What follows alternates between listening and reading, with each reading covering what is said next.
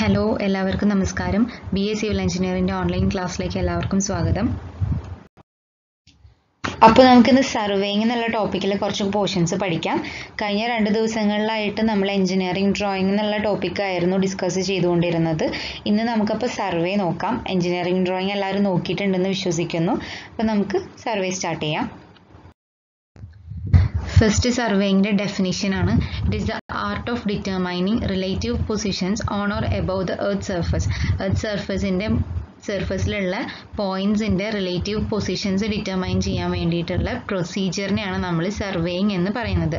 Surveying mainly രണ്ട് type ഉണ്ട് plane surveying and geodetic surveying plane surveying എന്ന് വെച്ചിട്ടുണ്ടെങ്കിൽ it is a survey in which the curvature of earth is not taken into consideration generally earth is considered as plane whose area is less than two fifty kilometre square ഇരുന്നൂറ്റി അൻപത് square കിലോമീറ്റേഴ്സിനേക്കാളും ചെറിയ ഏരിയയാണ് നമ്മൾ survey ചെയ്യുന്നതെങ്കിൽ ആ എർത്തിന്റെ surface നമ്മൾ plane surface ആയിട്ടാണ് അസ്യൂം ചെയ്യുന്നത്.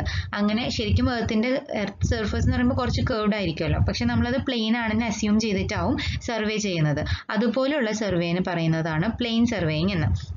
ഇനി അല്ലാതെ ലാർജ് ഏരിയ സർവേ ചെയ്യുമ്പോൾ നമ്മൾ എർത്തിന്റെ കർവേച്ചർ കൺസിഡർ ചെയ്തിട്ടാണ് സർവേ ചെയ്യുക. അപ്പോൾ കുറച്ചുകൂടി ആക്യുറേറ്റ് ആയിരിക്കും നമ്മുടെ work and such such surveying is known as geodetic surveying So geodetic surveying is the survey in which the curvature of earth is taken into consideration. These surveys extend over large areas and it is greater than 250 square kilometers. ആ two fifty എന്നുള്ള value important ആണ് ചില P S C answer കീയിലൊക്കെ two sixty square kilometres എന്ന് കാണാറുണ്ട് അപ്പോൾ two fifty or two sixty square kilometres അത് option അനുസരിച്ചിട്ട് നിങ്ങൾ മാർക്ക് ചെയ്താൽ മതി ടു ഫിഫ്റ്റി അല്ലെങ്കിൽ ടു സിക്സ്റ്റി രണ്ടും കാണാറുണ്ട് അടുത്തത് classification according to instruments used instruments use ചെയ്യുന്നതിനനുസരിച്ച് സർവേയും വീണ്ടും ക്ലാസിഫൈ ചെയ്തിട്ടുണ്ട്. First one chain survey compass survey plane table survey and theodolite survey അങ്ങനെ നാല് ക്ലാസിഫിക്കേഷനാണ് ഇൻസ്ട്രുമെന്റ്സ് യൂസ് ചെയ്യുന്നതിനനുസരിച്ചിട്ട് സർവേയും ക്ലാസിഫൈ ചെയ്തിരിക്കുന്നത്. അടുത്തത് പർപ്പസ് ഓഫ് സർവേ അനുസരിച്ചിട്ടുള്ള ക്ലാസിഫിക്കേഷൻ ആണ്. Mine survey geological survey archaeological survey military survey അങ്ങനെയാണ് purpose of survey mine survey എന്ന് പറയുന്നത് മൈനിങ് ആദ്യം ഇൻസ്ട്രുമെന്റ്സ് യൂസ് ചെയ്തിട്ടുള്ള സർവേയിങ് നമ്മൾ ഡീറ്റെയിൽ ആയിട്ട് ഇനി എക്സ്പ്ലെയിൻ ചെയ്യുന്നുണ്ട് കേട്ടോ. അതുകൊണ്ടാണ് ഞാൻ അവിടെ എക്സ്പ്ലെയിൻ ചെയ്യാത്തത്. അടുത്ത പർപ്പസ് ഓഫ് സർവേ വെച്ചിട്ടുള്ള ക്ലാസിഫിക്കേഷനിൽ മൈൻ സർവേയിങ് എന്ന് പറയുന്നത് മൈനിങ് ക്വാറിയിങ് അതുപോലെയുള്ള കാര്യങ്ങൾക്കൊക്കെ വേണ്ടിയിട്ട് നമ്മൾ സർവേ ചെയ്യുന്നതിനാണ് മൈൻ സർവേയിങ് എന്ന് പറയുന്നത്. ജിയോളജിക്കൽ സർവേ എന്ന് പറഞ്ഞിട്ടുണ്ടെങ്കിൽ എർത്തിന്റെ ജിയോളജിക്കൽ പ്രോപ്പർട്ടീസ് ഡിറ്റർമൈൻ ചെയ്യാൻ വേണ്ടിയിട്ട് ചെയ്യുന്ന സർവേയാണ് ജിയോളജിക്കൽ സർവേ ആർക്കിയോളജിക്കൽ സർവേ എന്ന് പറയുന്നത് നമ്മൾ പുരാവസ്തുക്കളൊക്കെ ഗവേഷണം ചെയ്യാൻ വേണ്ടിയിട്ട് എർത്ത് കുഴിക്കുക അങ്ങനെയുള്ള കാര്യങ്ങളൊക്കെ ഉണ്ടാവുമല്ലോ. അതിനൊക്കെ ചെയ്യുന്ന സർവേയാണ് ആർക്കിയോളജിക്കൽ സർവേ മിലിറ്ററി സർവേ എന്ന് പറയുന്നത് മിലിറ്ററി പർപ്പസിന് വേണ്ടിയിട്ട് ചെയ്യുന്ന സർവേയാണ് മിലിറ്ററി സർവേ അടുത്തത് according to the method employed method employ ചെയ്തിരിക്കുന്ന അനുസരിച്ചിട്ട് ട്രയാങ്കുലേഷൻ സർവേ ഉണ്ട് ട്രാവേഴ്സ് സർവേ ഉണ്ട്. ട്രയാങ്കുലേഷൻ സർവേ എന്ന് പറയുമ്പോൾ മെയിൻലി ചെയിനിങ്ങിൽ വരുന്ന ചെയിനിങ്ങിന്റെ പ്രിൻസിപ്പിളാണ് ട്രയാങ്കുലേഷൻ എന്ന് പറയുന്നത്. ട്രാവേഴ്സ് സർവേ എന്ന് പറയുമ്പോൾ അല്ലാതെ ആംഗിൾസ് ഒക്കെ മെഷർ ചെയ്തിട്ട് ചെയ്യുന്ന സർവേ ആണ് ട്രാവേഴ്സ് സർവേ അത് നമ്മൾ ഡീറ്റെയിൽ ആയിട്ട് ഇനി പഠിക്കുന്നുണ്ട്. അപ്പോൾ അപ്പോൾ നോക്കാം. ഇനി according to the place of survey Surveying is classified as topographical, cadastral, city and engineering survey. Topographical survey എന്താണെന്ന് വെച്ചിട്ടുണ്ടെങ്കിൽ it is done to determine the natural features of the country like hill river lakes etcetera ഒരു കൺട്രിയുടെ natural features മലകൾ പുഴകൾ അതുപോലെയുള്ള natural ഫീച്ചേഴ്സിനെ determine ചെയ്യാൻ വേണ്ടിയിട്ട് ചെയ്യുന്ന സർവേ ആണ് ടോപ്പോഗ്രഫിക്കൽ സർവേ അടുത്തത് cadastral survey cadastral survey is done to determine the boundaries of properties field houses etcetera ഒരു പ്രോപ്പർട്ടിയുടെ ബൗണ്ടറീസ് ഡിറ്റർമൈൻ ചെയ്യാൻ വേണ്ടിയിട്ട് ചെയ്യുന്നതാണ് കാഡസ്ട്രൽ സർവേ സിറ്റി സർവേ എന്താണെന്ന് വെച്ചിട്ടുണ്ടെങ്കിൽ it is performed in connection with town planning like water supply system drainage system etcetera town planning സ്കീമിലൊക്കെ ചെയ്യുന്ന survey ആണ് city survey water supply system lay ചെയ്യുക ഡ്രെയിനേജ് സിസ്റ്റം ഒക്കെ ലേ ചെയ്യുക. അതുപോലെയുള്ള വർക്കുകൾക്കൊക്കെ അസോസിയേറ്റ് ചെയ്തിട്ട് നമ്മൾ ചെയ്യുന്ന സർവേ ആണ് സിറ്റി സർവേ അടുത്തത് engineering survey it is to it is done to determine the determine and collect data for engineering works like roads railways reservoirs etcetera road railway reservoir അതുപോലെയുള്ള engineering വർക്ക്സിനൊക്കെ datas collect ചെയ്യാൻ വേണ്ടിയിട്ട് ചെയ്യുന്നതാണ് engineering survey അടുത്തത് stages of surveying first stage എന്ന് പറയുന്നത് reconnaissance ആണ്.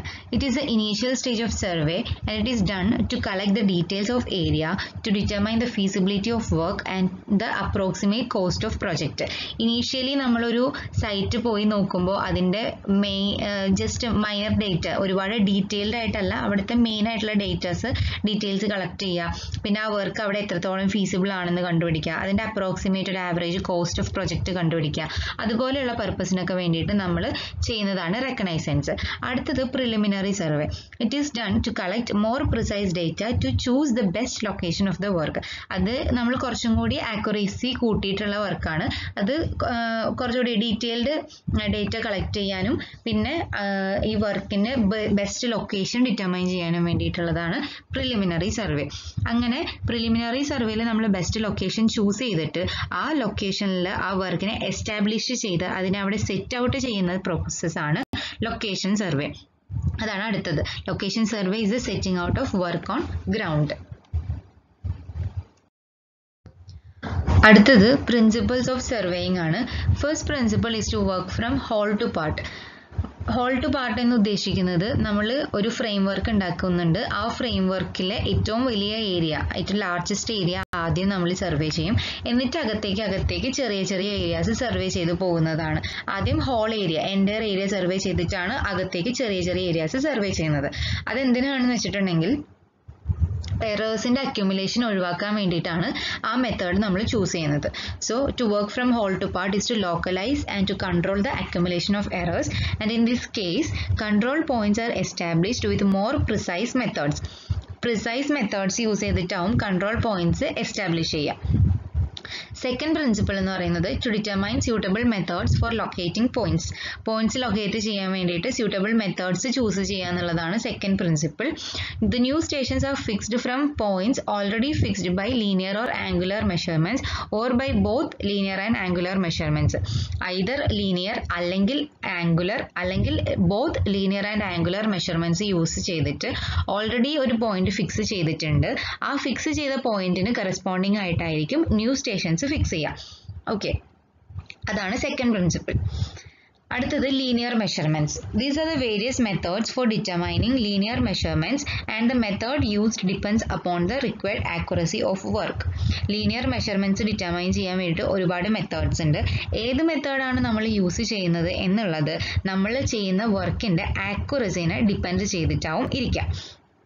അപ്പോൾ first one pacing this method consist of walking a certain distance and counting the number of paces ഈ ഇത് നമുക്ക് ഏത് ഡിസ്റ്റൻസ് ആണോ മെഷർ ചെയ്യേണ്ടത് ആ ഡിസ്റ്റൻസിന് അക്രോസ് ആയിട്ട് നമ്മൾ നടക്കുക.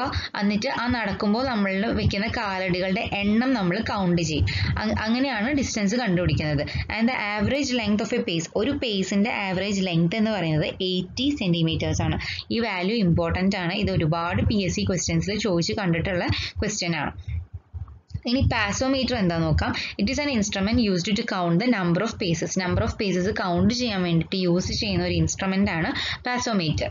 അടുത്തത് instrumental methods in this method. Uh, the distance is found out by using instruments like speedometer pedometer odometer perambulator etc speedometer pedometer അതുപോലെയുള്ള ഓരോരോ ഇൻസ്ട്രുമെന്റ്സ് യൂസ് ചെയ്തിട്ട് ഡയറക്റ്റ്ലി നമുക്ക് മെഷർമെന്റ്സ് കിട്ടും.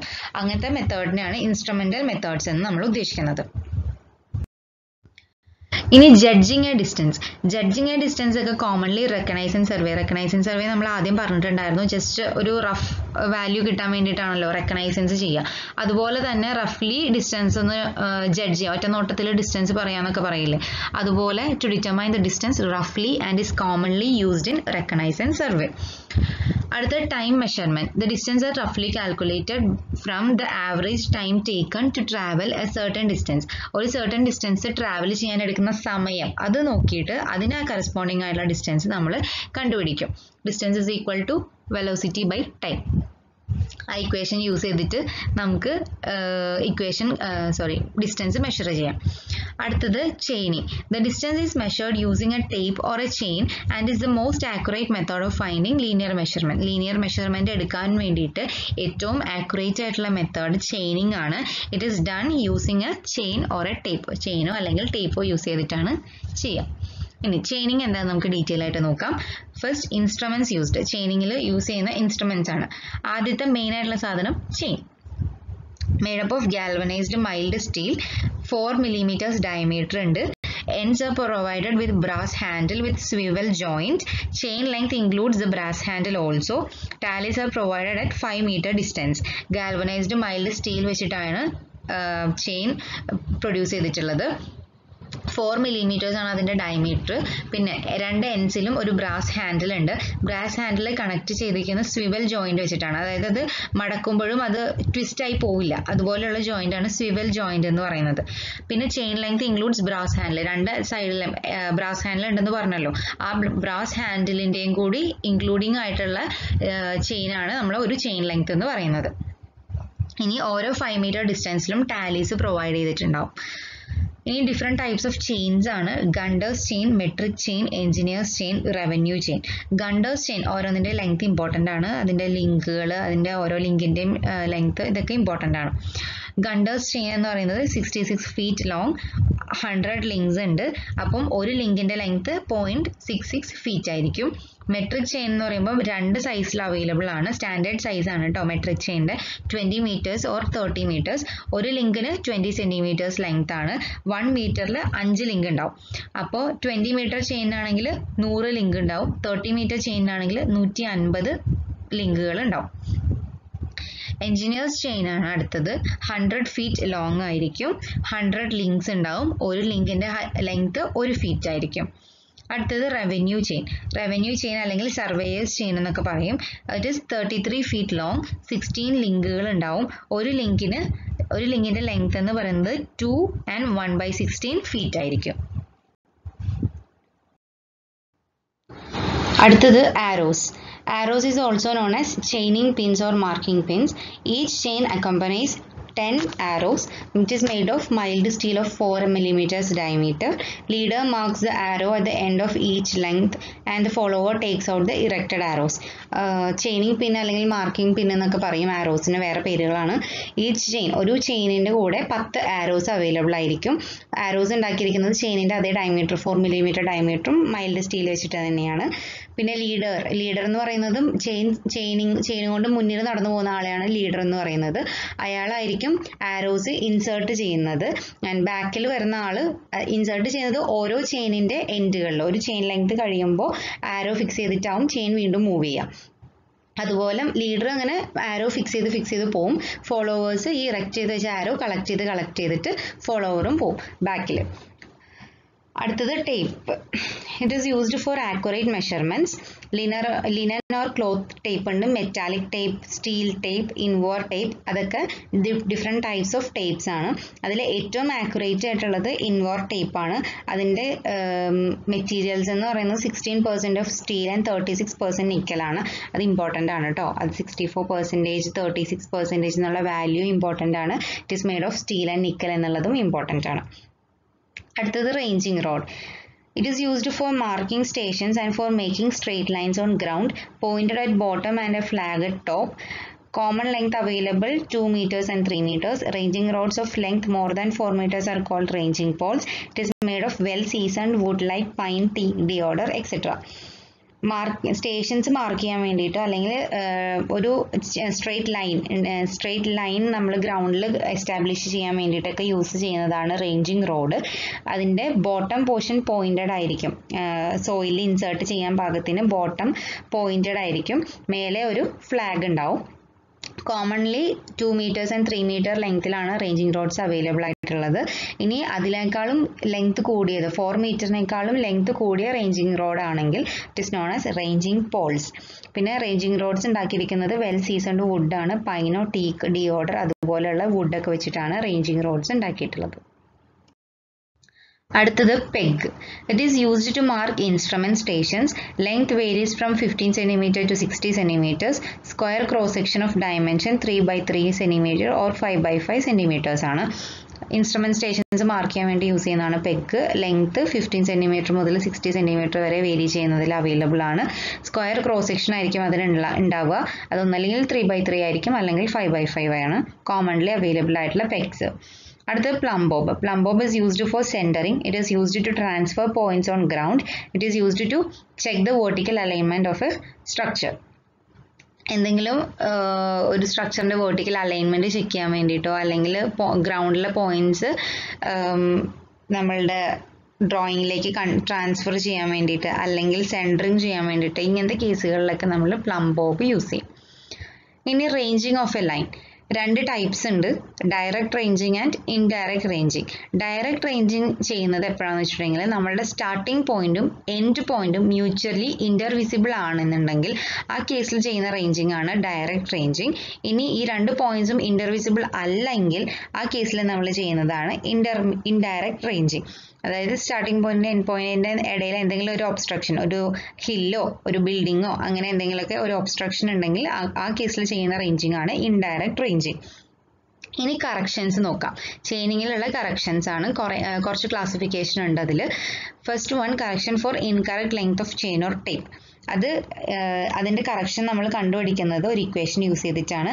Correct length of chain into correct distance is equal to incorrect length of chain into measured correct distance ആ equation വെച്ചിട്ടാണ് നമ്മൾ ചെയിനിന്റെ incorrect length കാരണം ഉണ്ടാകുന്ന എറർ കറക്റ്റ് ചെയ്യുക അടുത്തത് correction for sloping ground correction for slope is equal to A square by two C വേറൊരു equation കൂടി ഉണ്ട്. C into one minus cos alpha ഇവിടെ എ എന്നുള്ളത് ട്രയാങ്കിളിന്റെ ഹൈറ്റ് ആണ്. നമ്മളൊരു സ്ലോപ്പിംഗ് സർഫസ് സി ആണ് ആ സ്ലോപ്ഡ് സർഫസിന്റെ ലെങ്ത് എങ്കിൽ എ ആയിരിക്കും അതിന്റെ ഗ്രൗണ്ടിൽ നിന്നുള്ള ആക്ച്വലി ഉള്ള വെർട്ടിക്കൽ ഹൈറ്റ് അങ്ങനെയാണെങ്കിൽ correction for slope is equal to A square divided by two C വേറൊരു ഇക്വേഷൻ ഉള്ളത് C into one minus cos alpha ആ ഇൻക്ലിനേഷന്റെ ആംഗിളാണ് ആൽഫ എന്നുള്ളത്.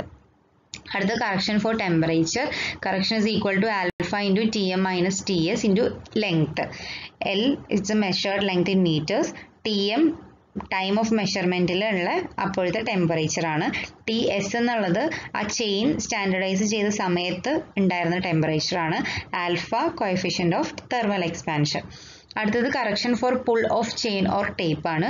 Correction is equal to P minus P naught into L by A E ഇവിടെ P എന്ന് പറയുന്നത് pull apply during measurement മെഷർമെന്റിന്റെ സമയത്ത് നമ്മൾ അപ്ലൈ ചെയ്യുന്ന പുള്ളാണ് പി നോട്ട് എന്ന് പറയുന്നത് സ്റ്റാൻഡർഡൈസേഷൻ ഓഫ് ടേപ്പിന്റെ സമയത്ത് അപ്ലൈ ചെയ്തിട്ടുണ്ടായിരുന്ന പുള്ളാണ് ലെങ്ത് എന്ന് പറയുന്നത് measured in measured length in sorry L എന്ന് പറയുന്നത് measured length in metres A area of cross section of tape in square metres E modulus of elasticity of the tape material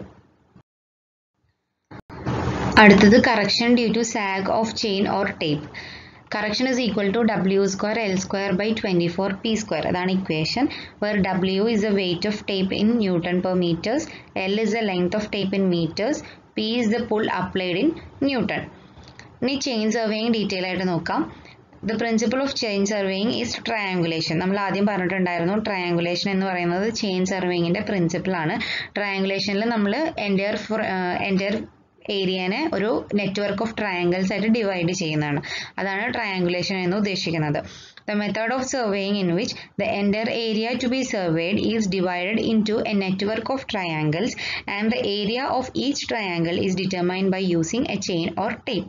Entire area ഒരു network of triangles ആയിട്ട് നമ്മൾ divide ചെയ്യും and area of each triangle ഓരോ ട്രയാങ്കിളിന്റെയും area നമ്മൾ chain അല്ലെങ്കിൽ tape വെച്ചിട്ട് determine ചെയ്യും this is a mo this is more suitable when the area is small and fairly level ഒരു ലെവൽ സർഫസും മാത്രമല്ല സ്മോളർ ഏരിയാസിലൊക്കെ സർവേ ചെയ്യാൻ വേണ്ടിയിട്ടാണ് ട്രയാങ്കുലേഷൻ മെത്തേഡ്സ് യൂസ് ചെയ്യാം. ഇനി ട്രയാങ്കുലേഷൻ ചെയ്യുമ്പോൾ അതിലെ ഓരോരോ ട്രയാങ്കിൾസും വെൽ കണ്ടീഷൻഡ് ട്രയാങ്കിൾസ് ആവണം എന്നുണ്ട്. ഇനി എന്താണ് ഒരു വെൽ കണ്ടീഷൻഡ് ട്രയാങ്കിൾ എന്ന് നോക്കാം. A triangle is set to be well conditioned if the angles are greater than thirty degree and not more than one twenty degrees അതിലെ ഓരോ ആംഗിൾസും തേർട്ടി ഡിഗ്രീനേക്കാളും ചെറുതാവാനും പാടില്ല. വൺ ട്വന്റി ഡിഗ്രീസിനേക്കാളും വലുതാവാനും പാടില്ല. Such triangle is known as well conditioned triangle ഇനി നേരെ മറിച്ച് thirty ഡിഗ്രീസിനേക്കാളും കുറവോ അല്ലെങ്കിൽ വൺ ട്വന്റിനേക്കാളും കൂടുതലോ ആണ് അതിന്റെ ആംഗിൾ എങ്കിൽ such triangle is known as ill conditioned triangle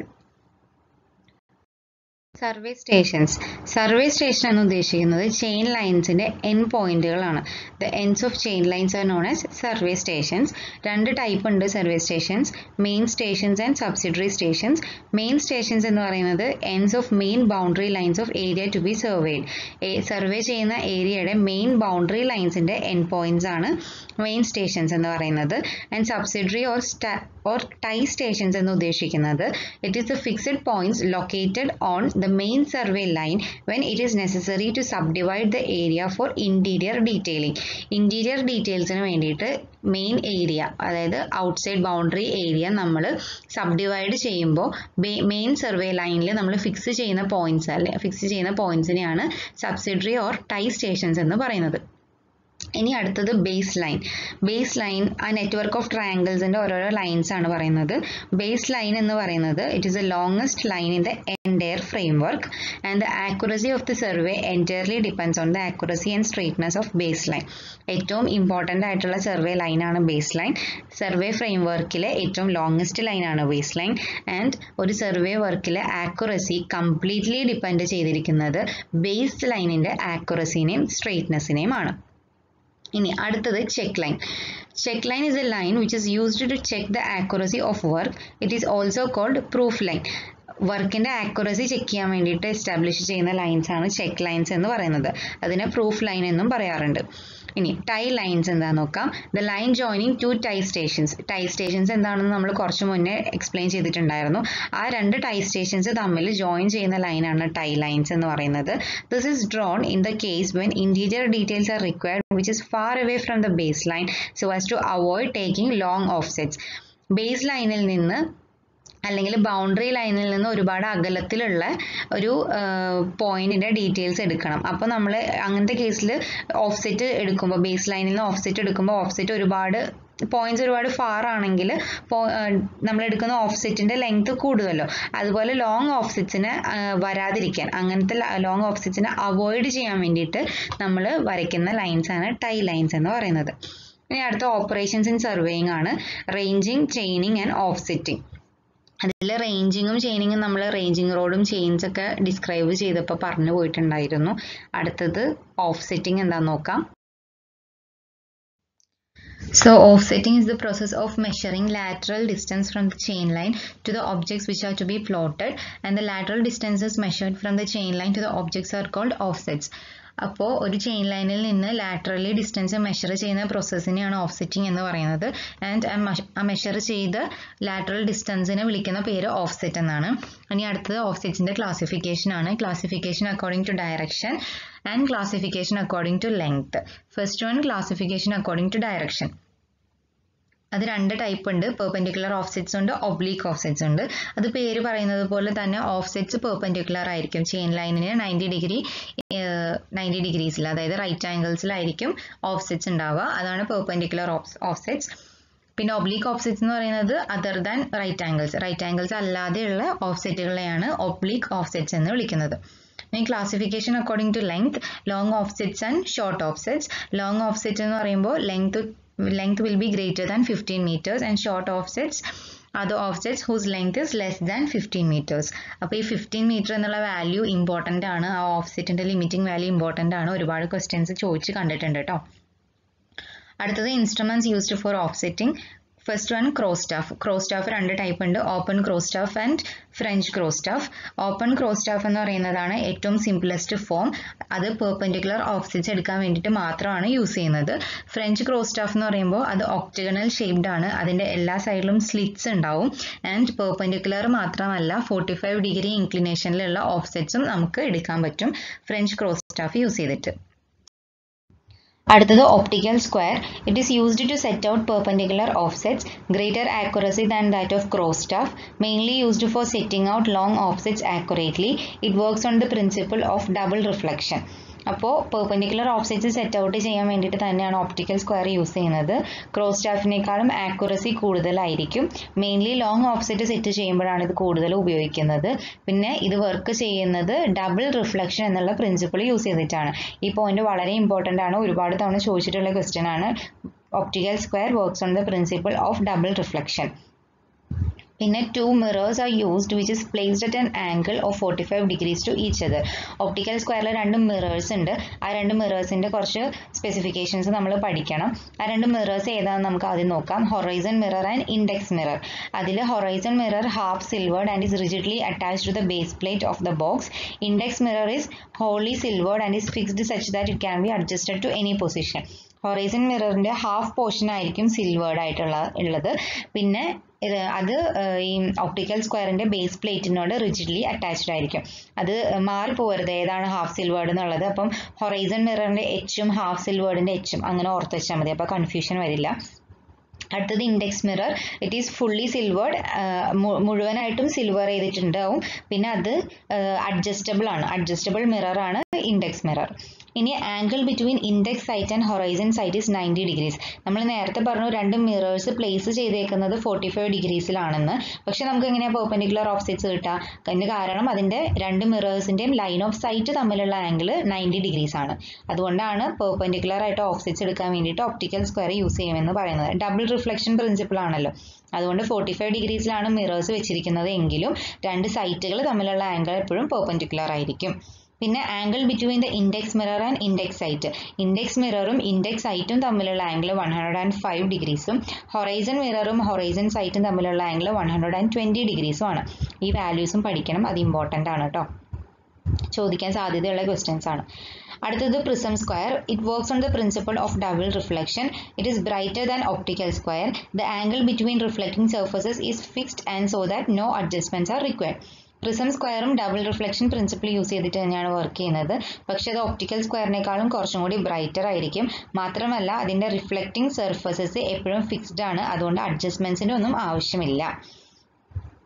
അടുത്തത് offset rod and measuring tape ഇത് രണ്ടും ഓർഡിനറി വർക്ക്സിന് അധികം ആക്യുറസി വേണ്ടാത്ത വർക്കുകൾക്കാണ് ഈ രണ്ടും യൂസ് ചെയ്യുന്നത്. ഓഫ്സെറ്റ് റോഡ് എന്ന് പറയുന്നത് റേഞ്ചിങ് റോഡിനോട് സിമിലർ ആണ്. ഒരു ഡിഫറൻസ് എന്താണെന്ന് വെച്ചിട്ടുണ്ടെങ്കിൽ റേഞ്ചിങ് റോഡിന്റെ ടോപ്പ് പോർഷനിൽ ഒരു ഫ്ലാഗ് ഉണ്ടാവും. ഓഫ്സെറ്റ് റോഡിന് അത് ഉണ്ടാവില്ല. ആ ഒരു ഡിഫറൻസ് മാത്രമേ ഉള്ളൂ.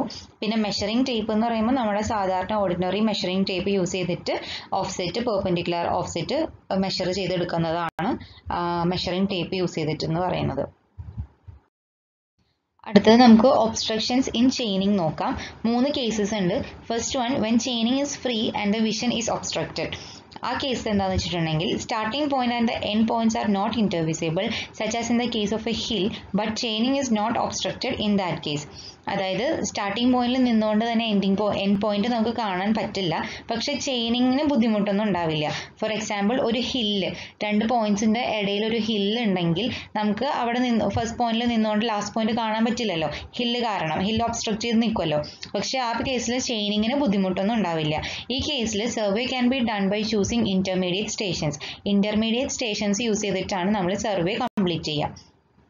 അടുത്തത് vision is free and chaining is obstructed ഇതിൽ starting point and end points are intervisible but chaining cannot be done starting പോയിന്റിൽ നിന്നുകൊണ്ട് തന്നെ എൻഡ് പോയിന്റ് കാണാൻ പറ്റുമായിരിക്കാം പക്ഷേ ചെയിനിങ് പോസിബിൾ ആയിരിക്കില്ല. ഉദാഹരണത്തിന് പോണ്ട് റിവർ എക്സെട്ര അതായത് രണ്ട് പോയിന്റ്സിനിടയിലൂടെ ഒരു റിവർ പാസ് ചെയ്യുന്നുണ്ടെങ്കിൽ നമുക്ക് റിവറിനെ ക്രോസ് ആയിട്ട് ചെയിനിങ് ചെയ്യാൻ പറ്റില്ല പക്ഷേ രണ്ട് പോയിന്റ്സും കാണാൻ പറ്റും. അതാണ് കേസ് പിന്നെ അടുത്തത് when both chaining and vision is obstructed ഈ കേസിൽ starting and end points are not visible as well as chaining is also not possible for example building starting and end points ഇന്റർവിസിബിളും ആയിരിക്കില്ല ചെയിനിങ്ങും പോസിബിൾ അല്ല. Building ഒക്കെ നടുക്ക് വരുന്ന കേസസിൽ ഇത് രണ്ടും പോസിബിൾ അല്ലല്ലോ. അതാണ് ആ കേസ് പറയുന്നത്. അപ്പോൾ ഈ വീഡിയോയിൽ ഇത്ര തന്നെ ഉള്ളൂ. ഇതിന്റെ ബാലൻസ് നമുക്ക് അടുത്ത വീഡിയോയിൽ ചെയ്യാം. അതുവരെ എല്ലാവരും നന്നായിട്ട് പ്രിപ്പയർ ചെയ്യുക. കിട്ടിയ ടൈം എല്ലാവരും മാക്സിമം യൂട്ടിലൈസ് ചെയ്യുക.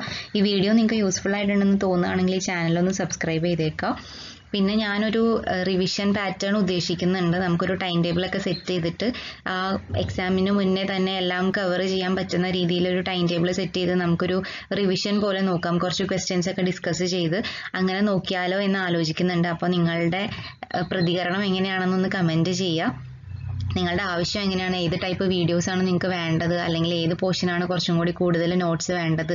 അങ്ങനെയൊക്കെ നിങ്ങൾക്ക് കമന്റ് ചെയ്യാം. അപ്പോൾ അതനുസരിച്ചിട്ട് നമുക്ക് വീഡിയോസ് ചെയ്യാം. അപ്പോൾ അത്ര തന്നെ ഉള്ളൂ. എല്ലാവരും നന്നായിട്ട് പഠിക്കുക എല്ലാവർക്കും ഓൾ ദി ബെസ്റ്റ് താങ്ക്